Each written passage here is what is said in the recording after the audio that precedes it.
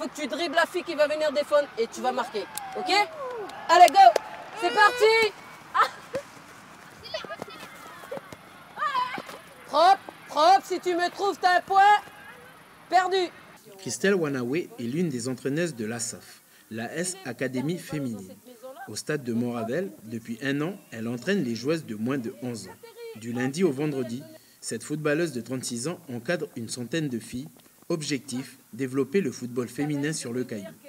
Je jouais beaucoup avec les garçons, y compris mes frères, les cousins, et euh, il m'arrivait de les dribbler, du coup ça leur plaisait pas. Donc c'était un petit peu cette guéguerre, euh, oui les filles, allez jouer au volet ou à la poupée, euh, le foot c'est pas pour vous.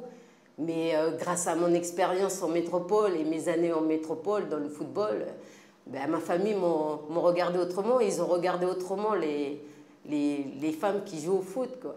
Christelle Wanawe a été joueuse semi-professionnelle en France pendant 13 ans. Elle a été la seule Calédonienne à avoir été appelée en stage en équipe de France.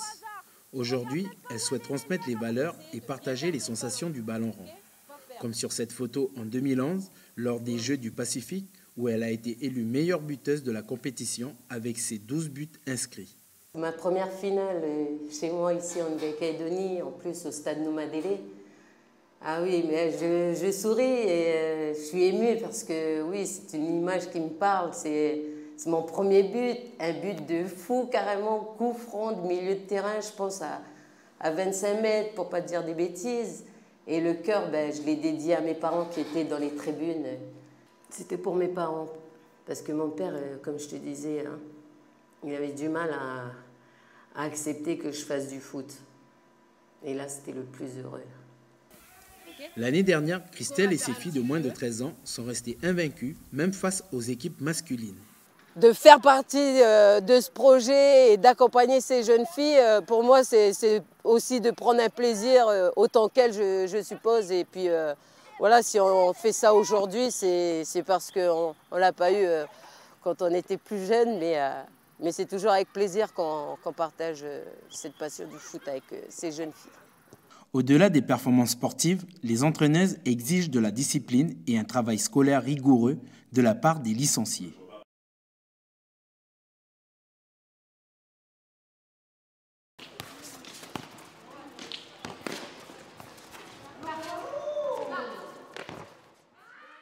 Laetitia Lémé, 17 ans, est l'une des joueuses de l'ASAF, l'AS Académie féminine.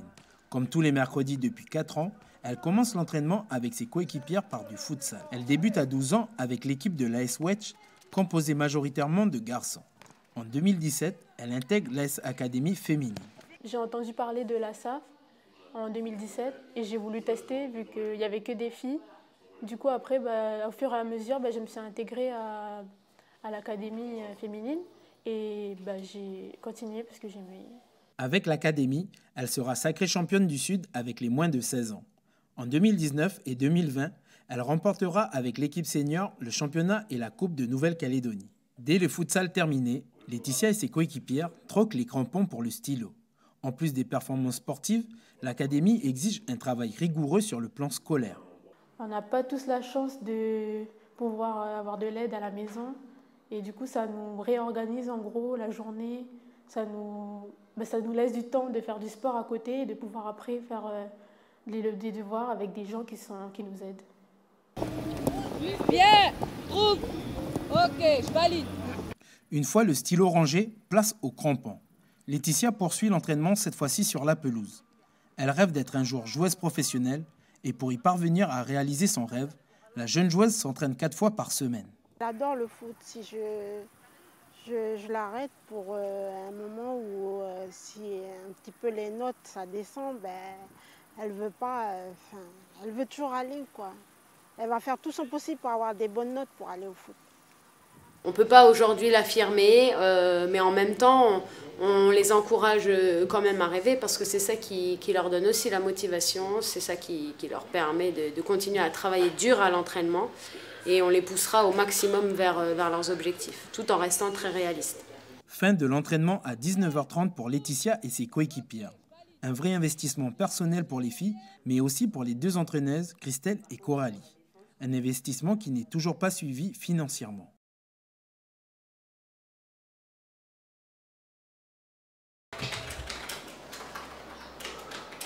Coralie est l'une des cofondatrices de l'Académie féminine. Elle est en train de s'occuper de la partie administrative.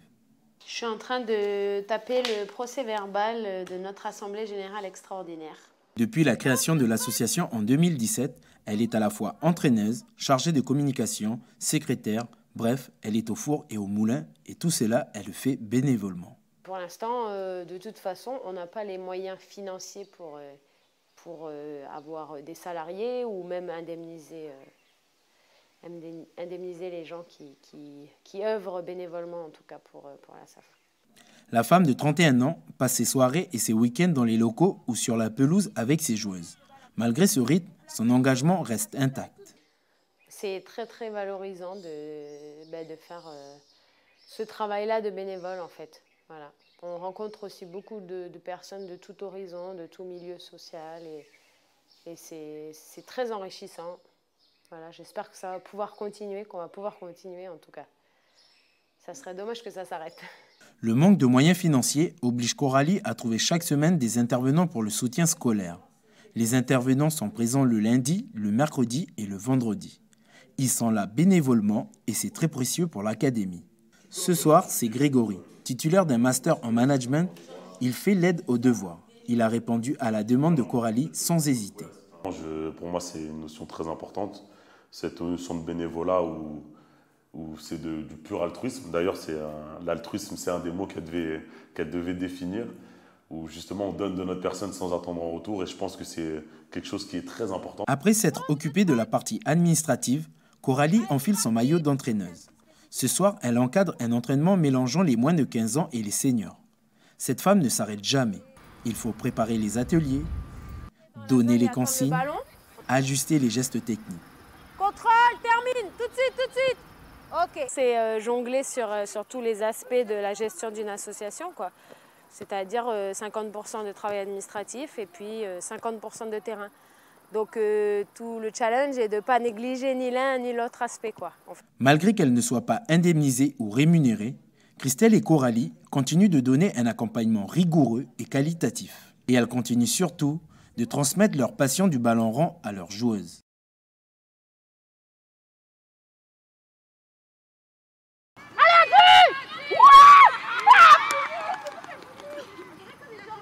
À première vue, ce match a l'air banal mais il a une particularité. Il oppose une mère et sa fille. Joséphine Wayo, 47 ans, et sa fille Cecilia Wayo, 13 ans. Elles jouent à des postes opposés. La maman est attaquante et la fille est défenseur. Une passion commune qui a débuté l'année dernière. Comme mes enfants ils jouent au foot, alors euh, je me suis dit c'est mieux de jouer avec eux. Il n'y avait pas d'équipe euh, des mamans, mais avec euh, la staff, Christelle avait créé l'équipe des mamans.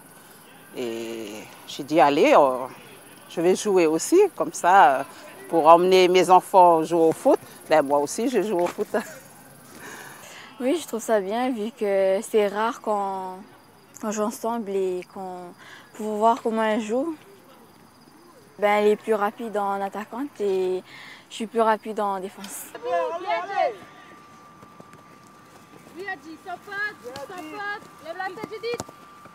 Le sport chez la famille Waeo, c'est une histoire de famille. Joséphine est une ancienne joueuse de volleyball et athlète. Quant à Cécilia, dès son plus jeune âge, elle jouait déjà au foot à l'IFU avant d'intégrer l'académie. Ce samedi, Cécilia et Joséphine débuteront leur premier match de la saison.